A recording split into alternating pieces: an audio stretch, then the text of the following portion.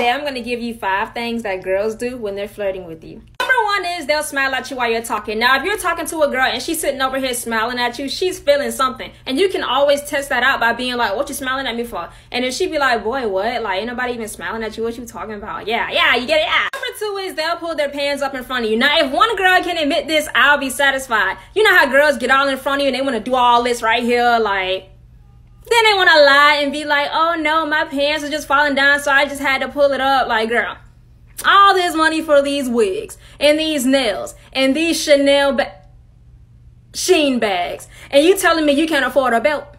Three is they'll play in your hair. One thing about girls, they're not gonna go around playing in every boy hair unless they feel something. So if she's playing in your hair, you already know what time it is, bro. And I'm not talking about no, oh, pull your scalp and make it bleed type. I don't know what I got going on, but you did something. You gotta work it out. But other than that, if she's massaging your scalp and running her fingers all through your hair, yeah, yeah, you know, yeah. Number four is they'll do small stuff and play innocent. She could be caressing your arm and you could be like, hey, what you doing? And she'll be like, what? I'm not doing nothing. You had something on you. Yeah, yeah, you had something on you, all right.